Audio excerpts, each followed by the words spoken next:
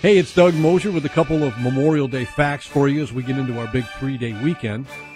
Did you know that over 40 million Americans have served our country during wartime? And almost one and a half million members of the armed forces have lost their lives in battle.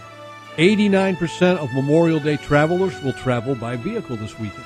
Americans will consume 818 hot dogs every second from Memorial Day to Labor Day. That's 7 billion. 25% more home cooking fires happen over Memorial Day weekend. And this weekend, over 900,000 participants will be in the Rolling Thunder Motorcycle Rally in Washington, D.C.